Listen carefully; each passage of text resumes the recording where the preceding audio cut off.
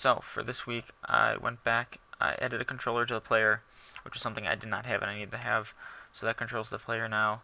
I also redid the field. The field was an array of booleans, which was not going to work in the long run. So I changed it to an array of uh, pointers to mushrooms. And then I also went back and changed the window size uh, and went back through my code and uh, fixed up a lot of uh, just random numbers that I had about and put them as constants at the top. Mostly scale was one of those. Uh, new things, I added the centipede. Centipede moves left, right, checks in front of it uh, with a uh, turn check function that I made. And then it'll uh, turn around instantly with uh, this turnaround function.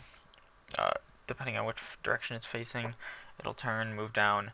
if it hits the bottom of the screen, it'll go back up, and then it won't it'll also hit a spot and it'll stay in that bottom side of the screen which is a amount that I can change with this uh, centipede height uh, number that I made so that it'll stay down there until it's destroyed. Um, also creates a mushroom upon death.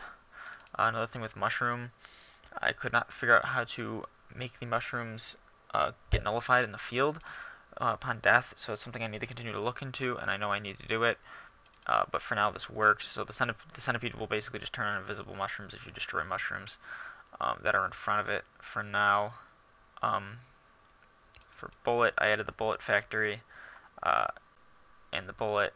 The bullet factory, I added a function called fire bullet.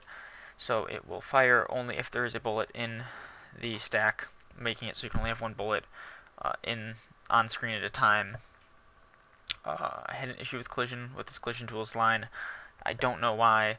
Uh, it would pull this assert every single time I had a collision between my bullet and the mushroom or the centipede. So I commented it out, and it works fine now. I don't know why. I'll probably, I, I will, I probably, I will go back and uh, look at a way to fix that, or why that's going off.